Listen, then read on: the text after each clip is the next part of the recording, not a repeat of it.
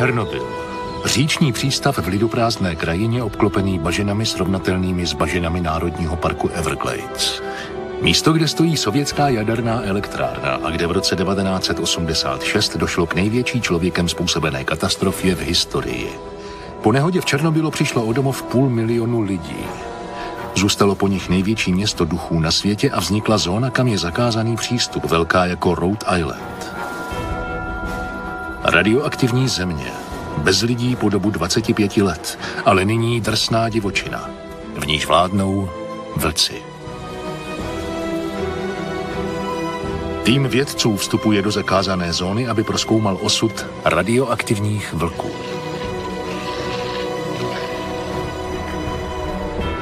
Prima uvádí Vlci v Černobylu.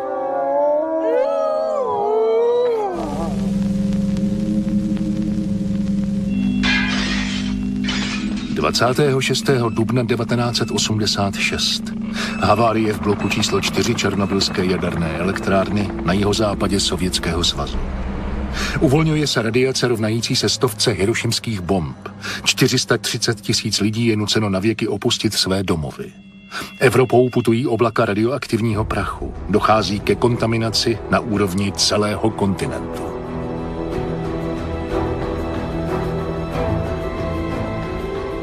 Nejsilněji je zasaženo 3000 čtverečních kilometrů v okolí reaktoru.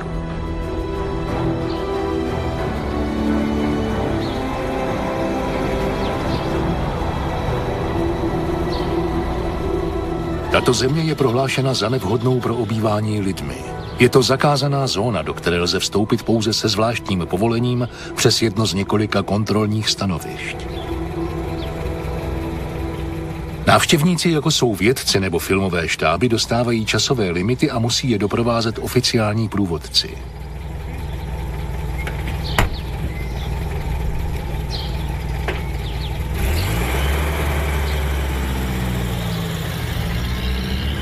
Tady udržovaná krajina náhle končí.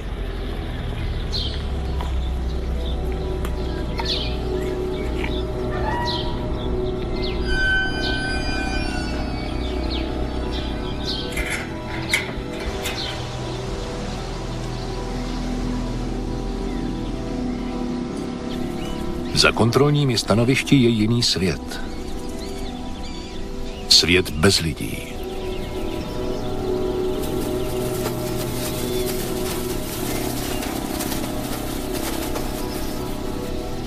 Zóna představuje pohled do hluboké minulosti, bez lidstva nebo do budoucnosti po zhroucení naší civilizace.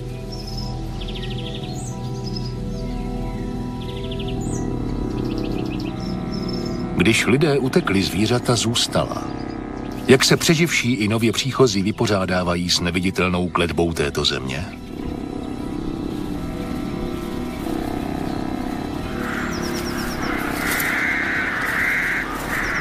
Místní i ti stěhovaví nevědí nic o číhajícím nebezpečí.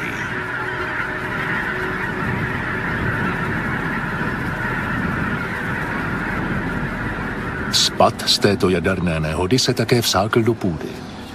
Rostliny absorbují radioaktivní částice. Ty se hromadí v dřevině a v orgánech a kostech zvířat.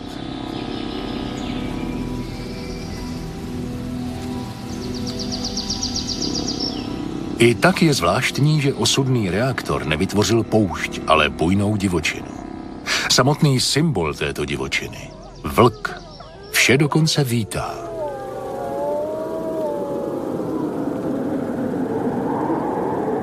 Po celá léta kolovaly pověsti o vlcích v této zóně. Mělo jich být 300 nebo i více. Barbara a Kristof Rombergerovi jsou odborníci na masožravá zvířata. Studovali vlky na celém světě, ale nikdy za tak zvláštních okolností. Prombergerovi se má přijeli zahájit dlouhodobé studium, ve kterém mají pokračovat místní vědci. Existuje dlouhý seznam otázek, například kolik vlků skutečně žije v zóně. Jsou to původní vlci nebo se sama přistěhovali? Liší se nějak populace vlků v zóně od populací v nezamořených oblastech?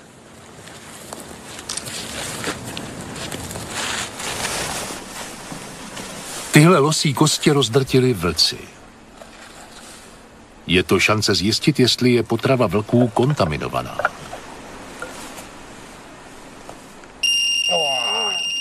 Radiace je 50krát vyšší než obyčejně.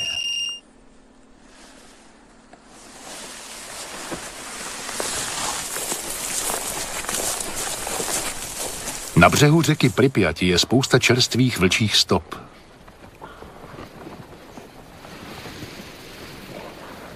Vlk si označkoval tuhle mladou borovici a udělal z ní perfektní místo, kam položit past.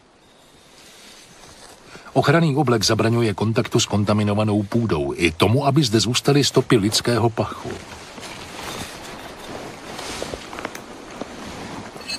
Brombergerovi doufají, že několika vlkům připevní obojek s vysílačkou, aby studovali jejich pohyb.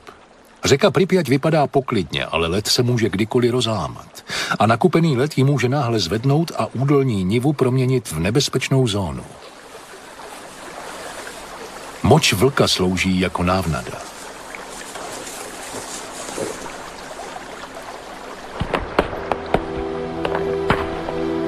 Toho odpoledne náhle stoupající vody řeky Pripyat rozdrtily miliony tun ledu.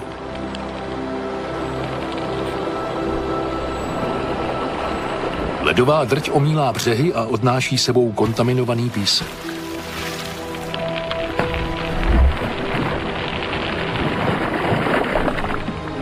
Od poslední doby ledové stoupající řeka opakovaně měnila podobu pláně v okolí Černobylu.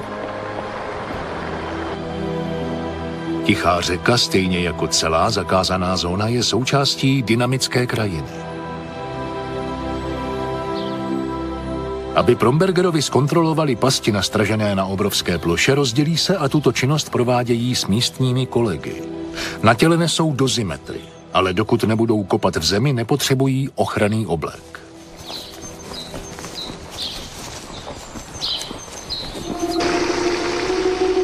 Na jaře roku 1986 byla atmosféra zcela jiná. Byly nasazeny desítky tisíc takzvaných likvidátorů, aby udrželi na úzdě hrůzy této jaderné katastrofy. Nakonec jejich počet překročil číslo 600 tisíc.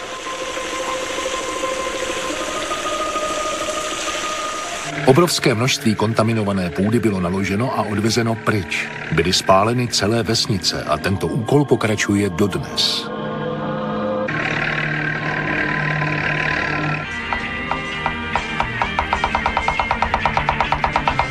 bylo přemístěno na 150 venkovských osad, kde žili většinou zemědělští dělníci pracující v družstve.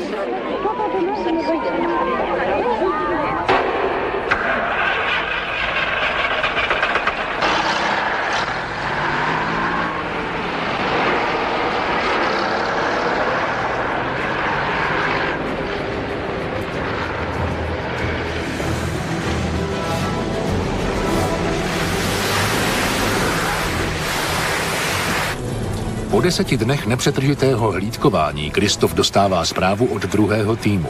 Zalédli vlka v pasti.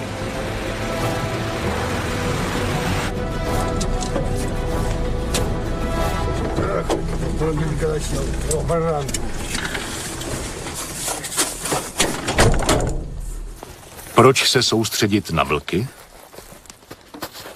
Vlky je na konci potravinového řetězce. Představuje vrchol pyramidy. Stav populace vlků hodně vypovídá o celém ekosystému.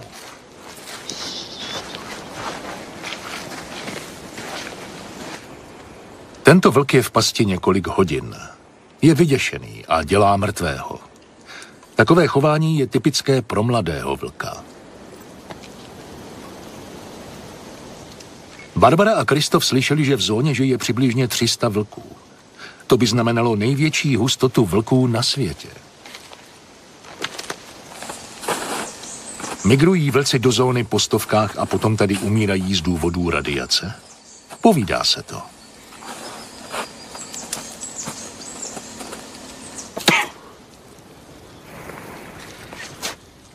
Nebo je pravdou opak? Narodili se všichni vlci tady, protože tu nejsou žádní lidé, aby lovili jejich rodiče a jejich kořist?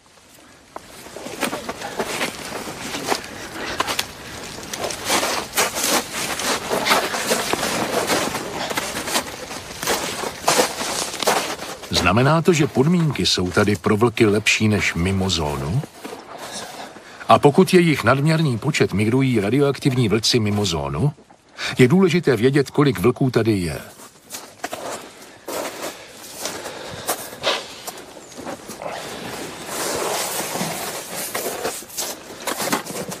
Tlapa, kterou měl vlk v pasti, se zdá být v pořádku.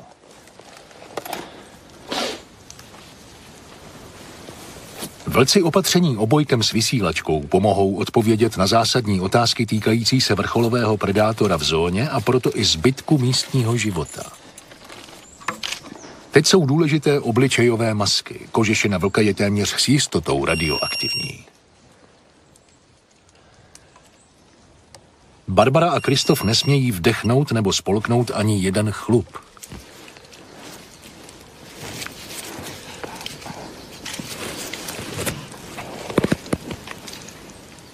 Velikost a stav zubů potvrzují, že toto je rok starý vlk, narozený v samotném středu zóny.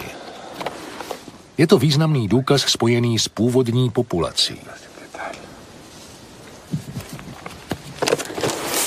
Vysílač oznamující polohu vlka s pomocí GPS denně dodá přesná data místním vědcům, kteří brzy tento úkol převezmou. Barbara a Kristof dají svému vlkovi jméno Boj. Rusky to znamená boj, zápas.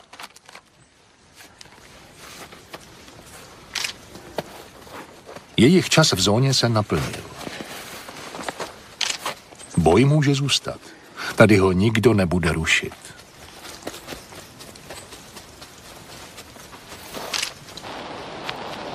Vždycky tomu tak nebylo. Před vytvořením zóny tady byli vlci nemilosrdně loveni. Mimo zónu je tomu tak stále.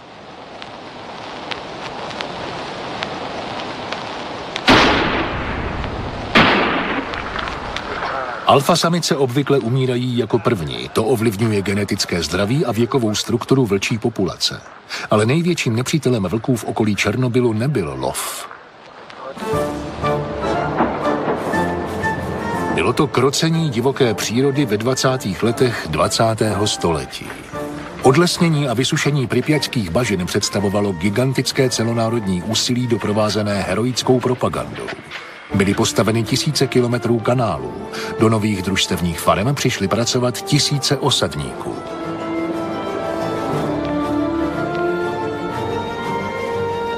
Zlepšení kvality půdy, jak to bylo nazýváno, mělo za cíl zvýšení produkce potravin pro sovětský lid.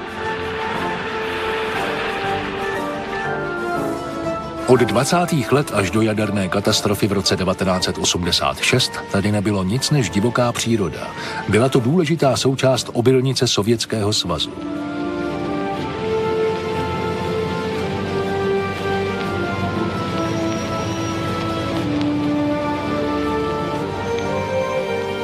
Dnes vypadá země mimo zónu pořád stejně. Odvodňovací kanály a obilná pole se táhnou až k obzoru. Ale co se stalo z kanálů a obilných polí uvnitř zóny? Změna je dokonale nenápadná, ale obrovských rozměrů. Lesy a pole byly zatopeny.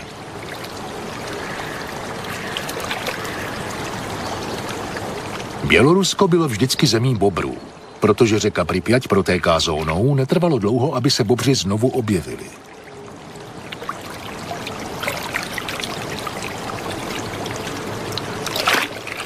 Tisíce jich pracují ve dne v noci. Rok za rokem. A přehrazují kanály vyrobené lidmi, podrývají náspy a vytvářejí obrovská prostředí pro obojživelníky, ryby, měkýše, hmyz, vidry, losy a vodní ptactvo.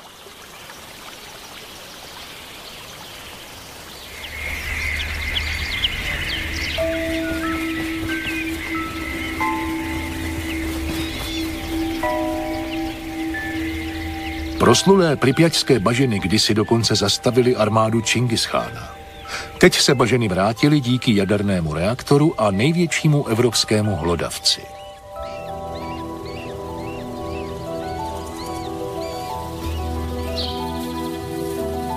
Na vyšší a suší půdě přemohly vesnice další síly divoké přírody. Spustošili je sněhové bouře a lesní požáry. Černobylští vlci jsou součástí mnohem většího příběhu, návratu kultivované země k divočině. Je to neustálý a dynamický proces odehrávající se mnohem rychleji, než by si ktokoliv dokázal představit.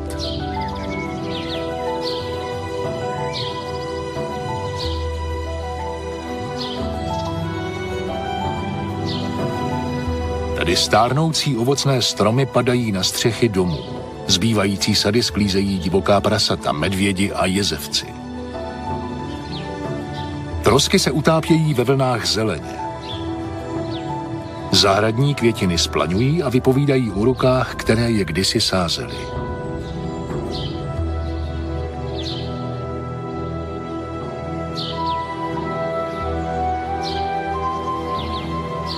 Při vjezdu do každé vesnice hrubý kámen připomíná její název a počet lidí, kteří zde byli doma.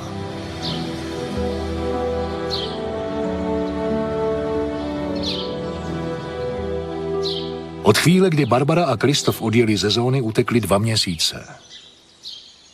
Člověk, který od nich převzal tento úkol, mnoho let vedl program sledování vlků v divoké krajině mimo zónu. Vadim Siderovič, profesor Běloruské akademie přírodních věd. Je květen a Vadim se vydal hledat nová vlčí mláďata.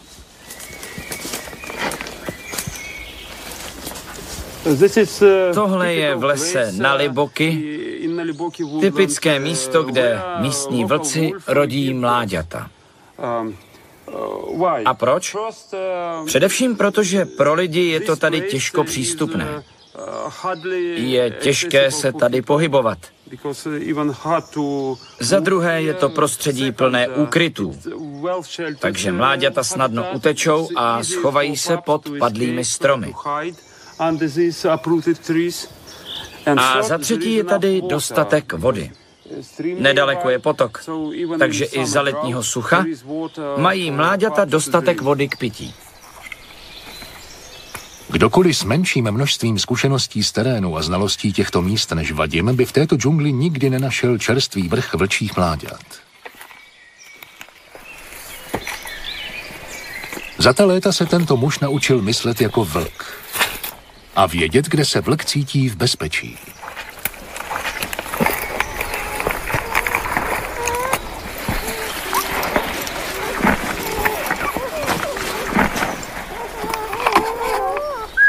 Tato štěňata jsou stará jen několik hodin. Vadim zůstane jen 20 minut, aby se matka vlčice nezdržovala mimo příliš dlouho.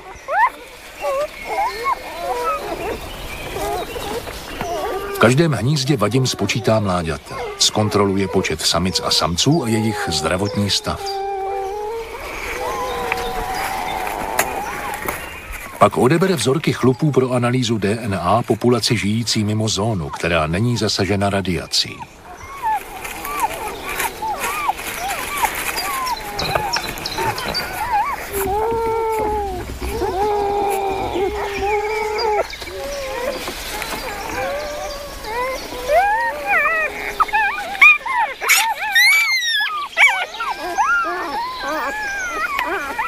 Vadim porovná údaje z této neznečištěné kontrolní oblasti s těmi, které schromažďují uvnitř zóny.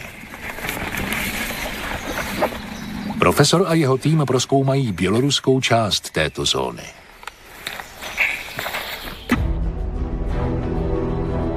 Když se Sovětský svaz v roce 1991 zhroutil, Bělorusko a Ukrajina vyhlásili nezávislost a rozdělili vědce pracující na obou stranách hranice.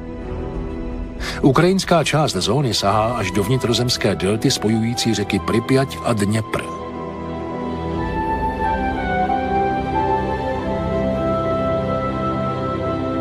Toto je místo, kde stojí černobylská jaderná elektrárna.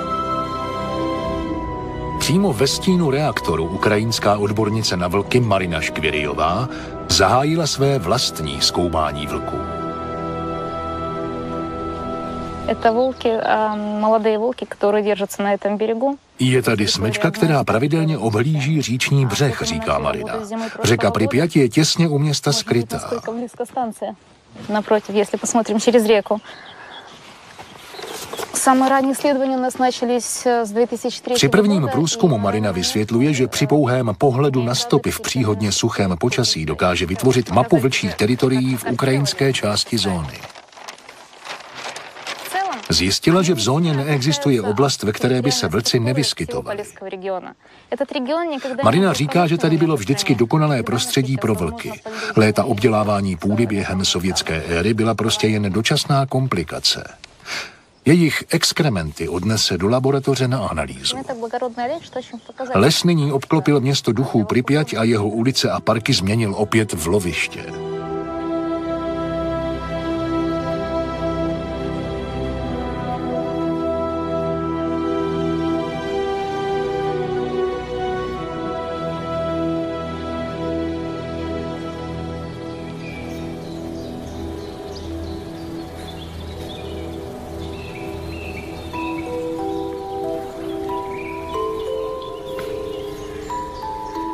Pripyat bylo nové město s 58 tisíci obyvatel, postavené nedaleko starého židovského říčního obchodního přístavu Černobyl. Pro jeho obyvatele muselo být přitažlivé. Bylo to vzorové sovětské město obklopené úchvatnou scenérií. Tohle je centrální náměstí nejzelenějšího města na světě, kde růžové a jasmínové keře a stromy lebující široké třídy rostou v neomezeném množství.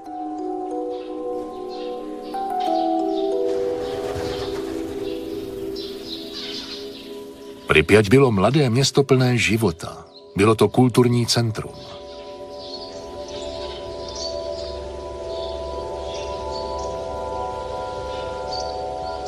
Inženýři a vědci vzdělaní a privilegovaní, pracující v jaderné elektrárně, výzkumných laboratořích a vojenských zařízeních, zde vychovávali své rodiny.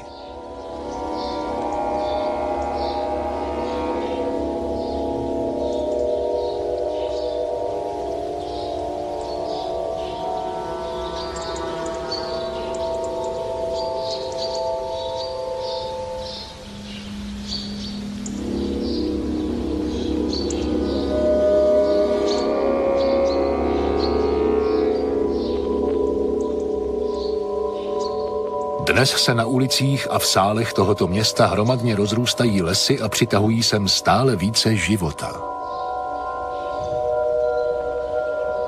V Bělorusku profesor Vadim Siderovič přijel do zóny studovat vlčí kostry. E, různé metričné pokažky z levého boku čášky, z правого боку чашки. Для гэтага лепш за ўсё паглядзець ці тэставаць асіметрыю, ці ёсць асіметрыя чашкі. S výzkumným pracovníkem Grigoriem Ivanovičem Vadim porovnává kostry ze zóny i mimo ní, aby zjistil možné defekty způsobené radiací.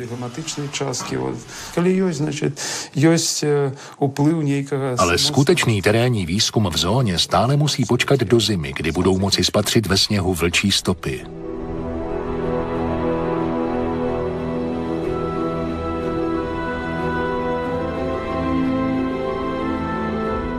Dnes po sněhové bouři se na to na jednom z kontrolních stanovišť připravují dva členové studijní skupiny. Kromě boje byl obojkem s vysílačkou opatřen další vlk, roční samice Lara. Na elektronické mapě výzkumníci najdou GPS polohu vlka z tohoto rána opuštěnou vesnici Krasnasilia. Záznamy GPS ukazují, že mladí vlci strávili většinu tohoto roku společně a vždy se potulovali kolem této vesnice. To znamená, že jsou to sourozenci. Ale jsou součástí smečky? Odpověď mohou poskytnout čerstvé stopy.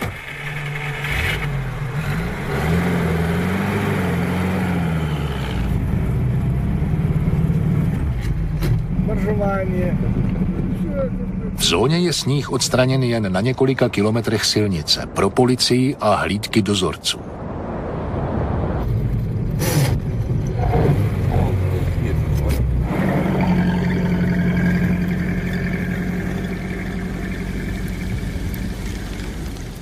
Pozitivní je, že silnice teď používá mnoho zvířat, takže je snadné spatřit stopy i vlky. Poraněná losice. Vlci ji brzy spatří. Tento orel mořský čeká, až vykonají své dílo. Vlčí úlovky pomáhají orlům během zimy, když jsou jezera zamrzlá a orly nemohou lovit ryby. Opuštěná vesnice Krasnaselia s požární věží. Pokud jsou Boj a Lara součástí smečky, toto by mohlo být jejich velitelství. Stopy ve sněhu to potvrzují. Tohle je základna velké smečky.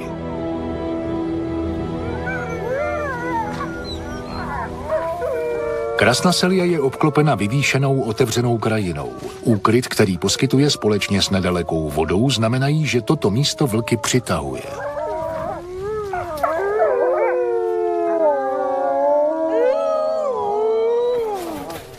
Výzkumníci napočítají deset jednotlivých vlků, ale po bojovi a laře ani stopy.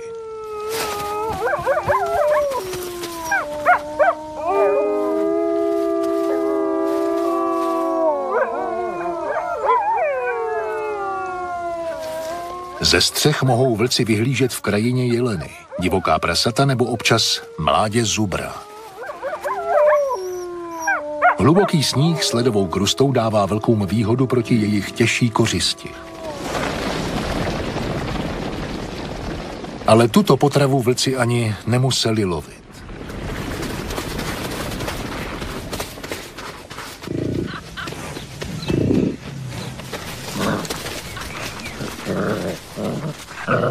Tele podlehlo ruské zimě.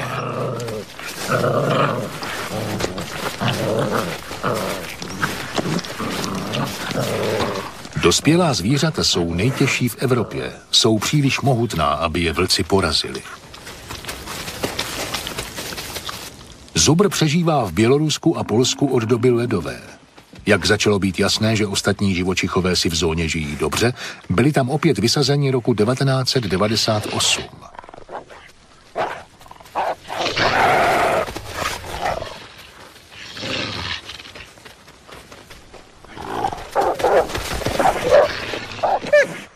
Stádo nakonec odežene vlky od mršiny a vrací se truchlit nad svojí ztrátou. Je to typické zubří chování.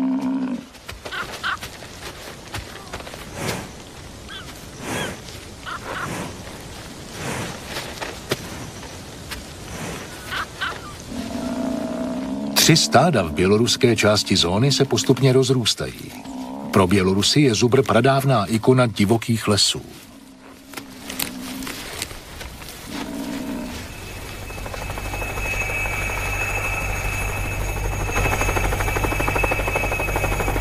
Až donedávna lovci v Bělorusku stříleli vlky z helikoptér. To je dnes zakázáno. Vadimův kolega Grigorij Ivanovič z výzkumného týmu pracuje jako dozorce v zóně.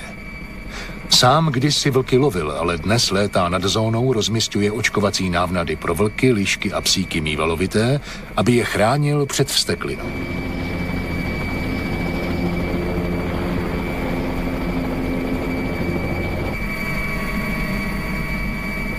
Zimě mohou zvířata snadno přejít řeku. Boj a Lara to na průzkumných výpravách udělali několikrát.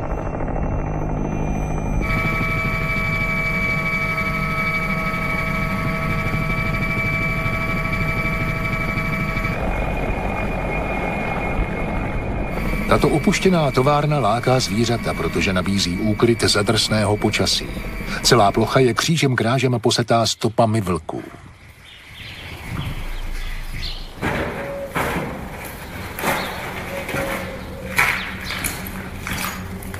Tyto budovy tvoří útočiště bez radiace uvnitř zóny. Radioaktivní spad po nehodě padal s deštěm a stekl se střech do okolní půdy.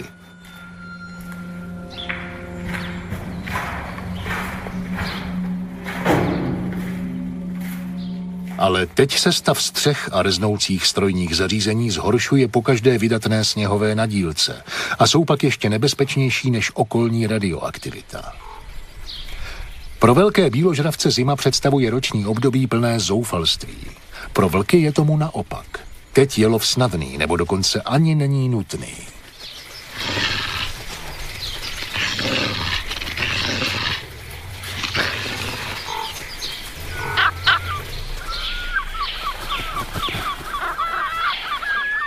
kořisti ulovené vlky má prospěch řada dalších různých druhů.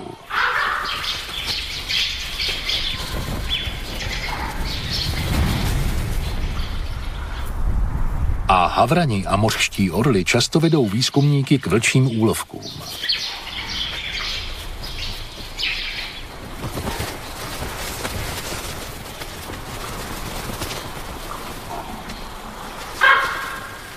V této době uprostřed zimy se orly mohou chovat jako mrchožrouti. Ale ve skutečnosti to jsou vrcholoví predátoři, tak jako vlci. Vidět je tady v takovém počtu je dalším náznakem, že tento ekosystém je v dobrém stavu.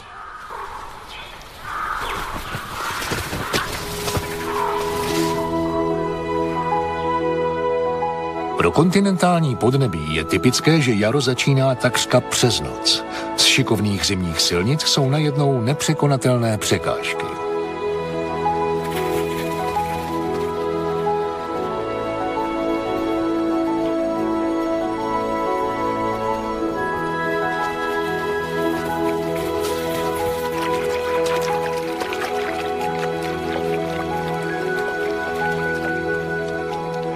Obvykle hnízdí na velkých starých stromech, ale zóna nabízí něco lepšího.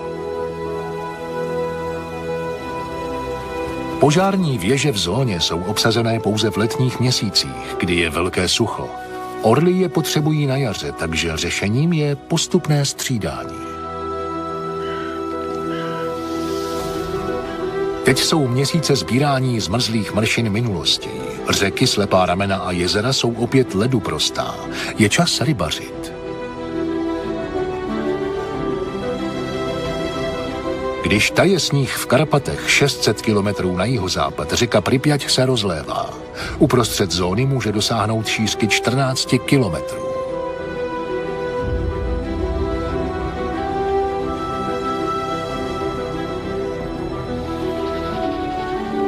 Hladina vody stoupne o 8 metrů. Hráze a kanály jsou schátralé a zničené a jarní povodeň zaplaví pole a vesnice a urychlí návrat krajiny k divočině.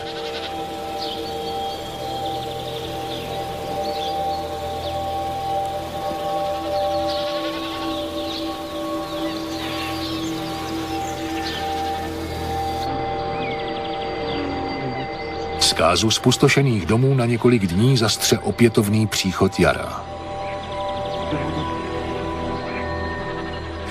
Kvetoucí sady jsou odkazem černobylských šťastnějších dní. Mnoho ovocných stromů představuje pro živočichy sladké pokušení. Na podzim přichází mnoho zvířat hodovat.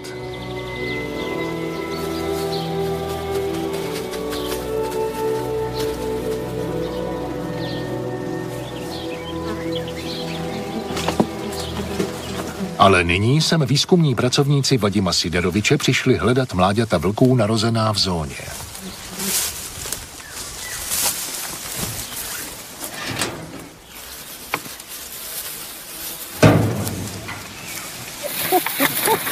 Tahle jsou tři týdny stará.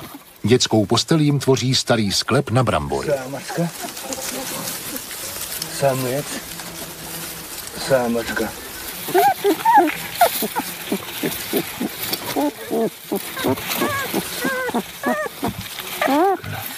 Grigorij našel tři doupata. Je to konečný důkaz, že zde existuje původní populace, které se daří v samotném centru zóny. Vědci, dozorci a hlídači dostanou jen omezený čas na pobyt v zóně, aby celkové vystavení radiaci nepřekročilo bezpečný limit.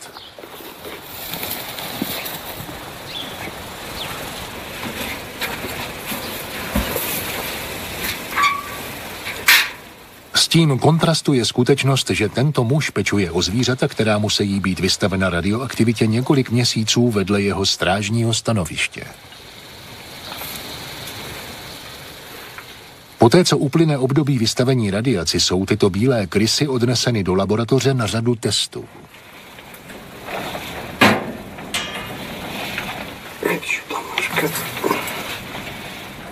Ukazuje se, že není snadné určit přesná spojení mezi dlouhodobým vystavením záření nízké úrovně a konkrétními zdravotními riziky pro lidi. Protože při tomto experimentu jde vlastně o lidi, musí se soustředit na jednotlivá zvířata. Ale environmentální studie se nesoustředí na jednotlivce, zaujímají širší pohled na celou populaci divoce žijících živočichů.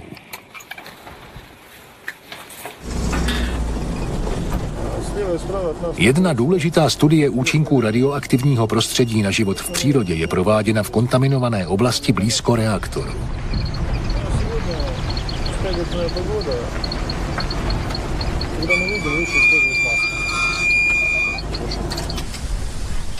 Tady musí mít lidé masky na obličejích. Je větrno a prostředí je prašné a reaktor je odtud jen jeden kilometr daleko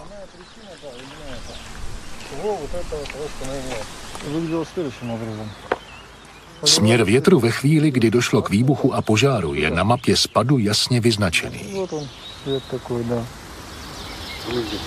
My nachodíme здесь, вот именно на этой точке. Les možná vypadá zelený, ale není ani zdaleka čistý. Několik mrtvých stromů stále stojí jako připomínka neslavně proslulého červeného lesa, který zde stál těsně po jaderné nehodě. Plchové, žijící v této kontaminované oblasti, byli zdokumentováváni po více než 6 let. 4 až 6 každé nové generace vykazuje mírné abnormality. Je to dvakrát více než v nezasažených oblastech. Pro lidi by podobné počty byly katastrofické. U plchů zůstává celková populace zdravá, i když jsou někteří jedinci zasaženi. Hustota a procento přírůstku je dokonce lepší než v kontrolních oblastech.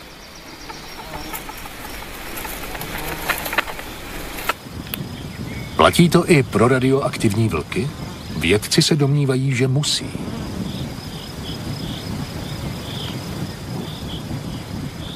V Krasnaselii profesor Vadim Siderovič a Grigorij Ivanovič mají obavy.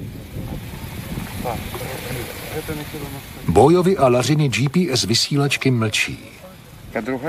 Naštěstí mají vlci také čipy. Možná je lze spatřit z požární věže s pomocí sledovací antény.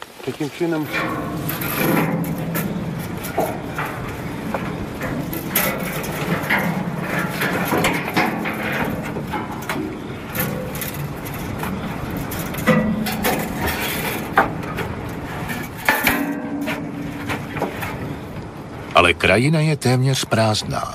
Po bojovi Alaře ani stopy. Krátce zahlédli pouze jednoho vlka v dálce a toho není možné identifikovat Дамба і ніжей дамби був би на лонці. На лонці, глядь, бачиш? Při pohledu opačným směrem se kousek za hranicí město Pripyat dusí v mimořádném letním žáru. V pravé poledne je 45 stupňů Celzia a dokonce i ulice obývaného města by byly prázdné. Ale ornitologa Sergeje Domaševského to neodradí.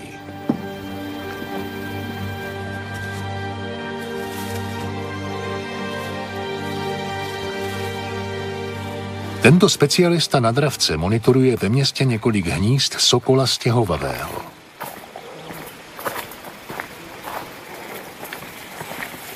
Pokud se dravcům daří dobře, populace jejich kořisti většinou malých hlodavců musí být také v pořádku.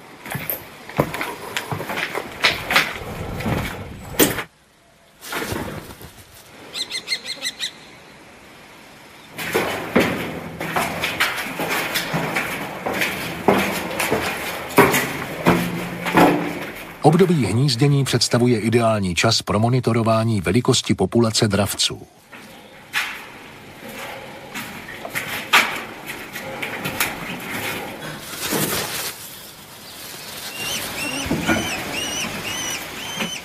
Sergeje zajímá velikost a vývoj mláďat sokola a procento, které jich přežije.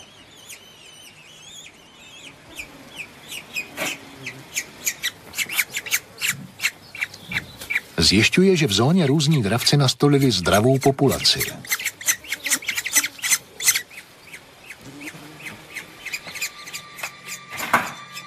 Z mnoha pripěťských věžáků je výhled na reaktor, který náhle zakonzervoval historii města.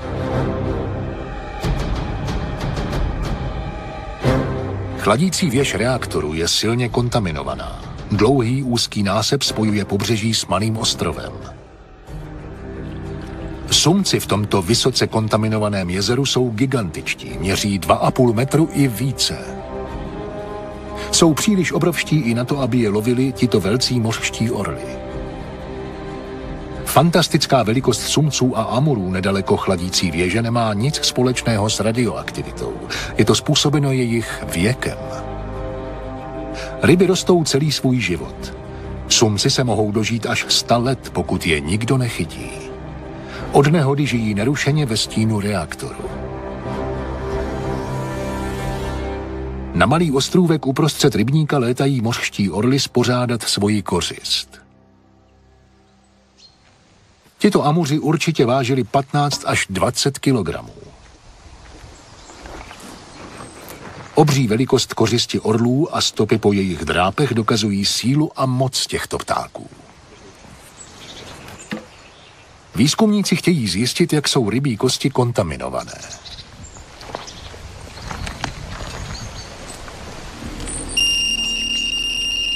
Na tyto ryby by se nemělo sahat holýma rukama.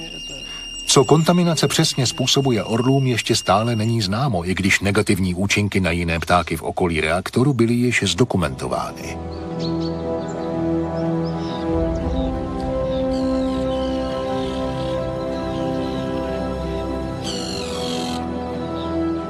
Východ slunce nad starým černobylským říčním přístavem. Po nehodě tady zůstalo mnoho lodí, jen několik jich stále ještě z části pluje. Odtud pojede tým výzkumníků po řece Pripyat vnitrozemskou deltou na její soutok s řekou Dněpr.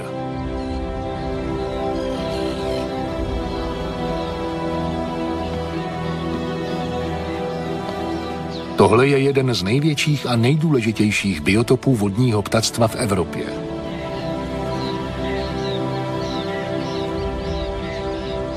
Tekoucí vodní cesty jsou dávno prosté jakékoliv radiace. Tady lze ryby bezpečně konzumovat. Mohou to dělat i lidé. Nespočet zalesněných a písčitých ostrovů nabízí ideální místa k vyvádění mláďat. Jsou tedy kolonie břehulí, kormoránů, jeřábů a volavek. Celkem asi 120 druhů, včetně těch stěhovavých.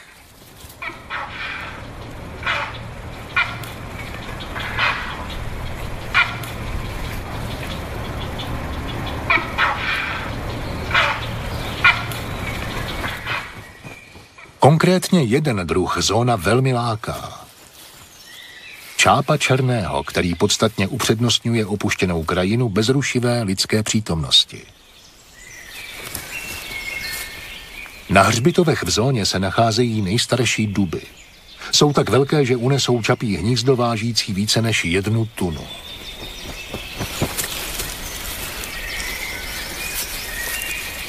Na posvátních místech, jako jsou hřbitovy, byla v minulých epochách těžba dřeva vyloučena. Jsou to poslední pozůstatky ukrajinských původních dubových lesů.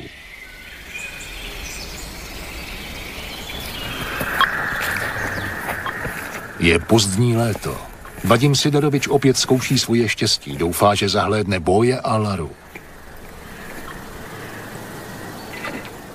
Úsek silnice u Krasnoselí tvoří hranici území Smečky.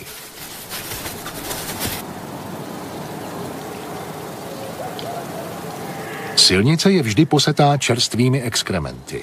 Zejména tento most nad starým odvodňovacím kanálem.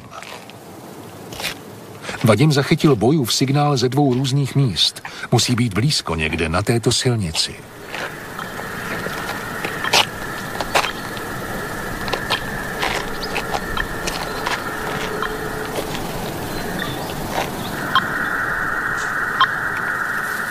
Náhle přeběhne cestu obrovské divoké prase, následované vlkem.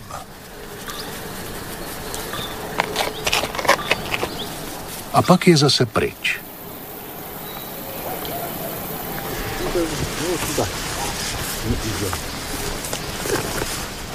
Na své vlčí patrole si Grigorij všiml zvláštní změny krajiny a chce to konzultovat s Vadimem.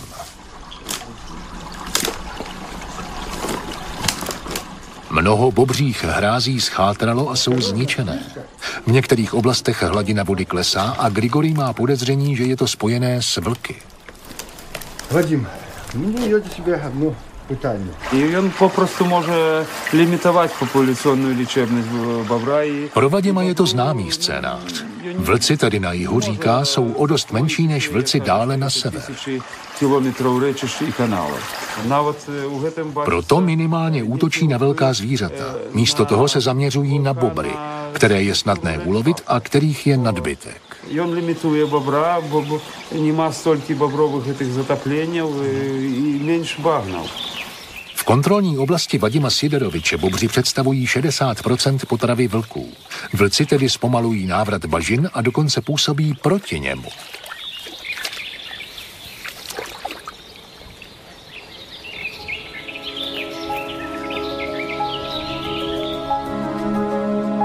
Od poslední doby ledové se touto zemí proháněli nejen velcí kopytníci jako losy, jeleni a zubři, ale také divocí koně.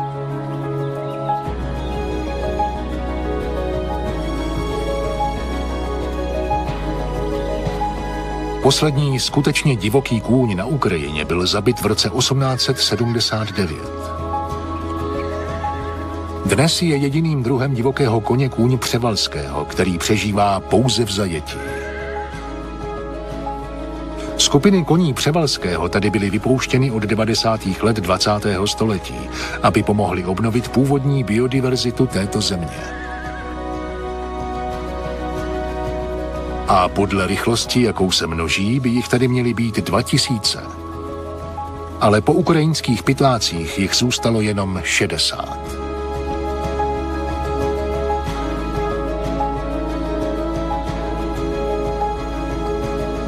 Během samotného 20. století lidské dějiny zasazovaly této mokřadní divočině zničující rány. Pustošily ji bitvy dvou světových válek a posedlost pokrokem Stalinovy éry. Je ironií, že největší jaderná katastrofa na světě ji změnila v unikátní útočiště ohrožených druhů.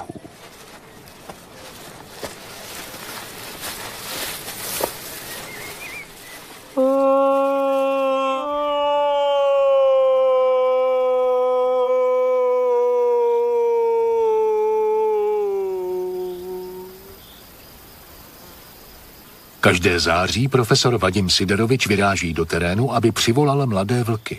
Je to způsob, jak uvidět každé mládě a odhadnout jejich procento přežití.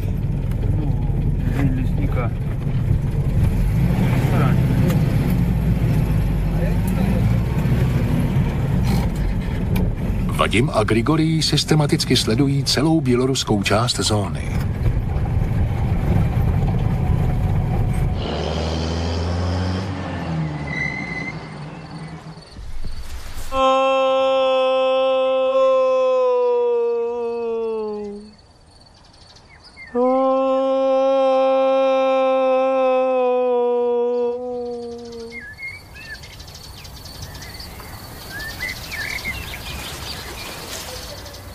Vlci, to je Vadimův život. Pracuje a žije s nimi několik desetiletí. Mluví jejich řečí.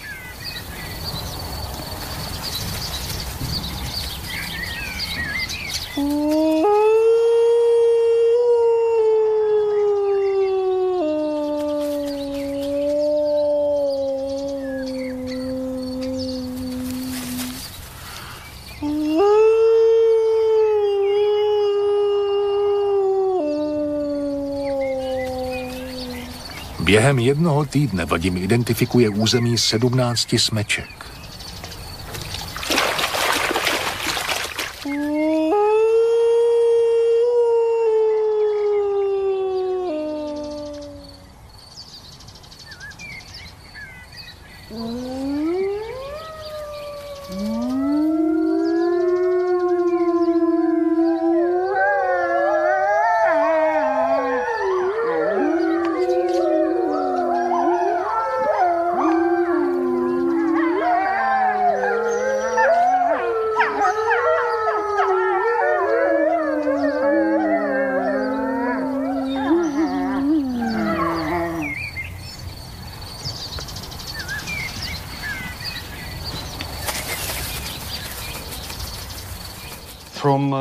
Na základě této informace, tedy velkého množství vlčích stop na místní silnici, mohu předpokládat, že tady není tolik vlků, jak tvrdili místní, tedy 300 nebo více jedinců. Srovnáním s podobnou informací, s podobným pozorováním v Naliboky na stejné ploše, jako je běloruská část zóny, mohu předpokládat, že vlčí populace v černobylské zóně dosahuje počtu 120 jedinců.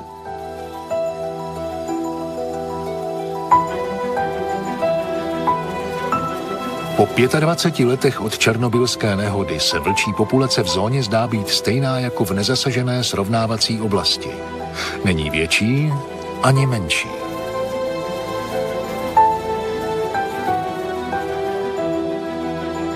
Pro lidi je tato země ztracená. Vlkům, jak se zdá, jaderná katastrofa dala tu nejlepší šanci přežít v míru.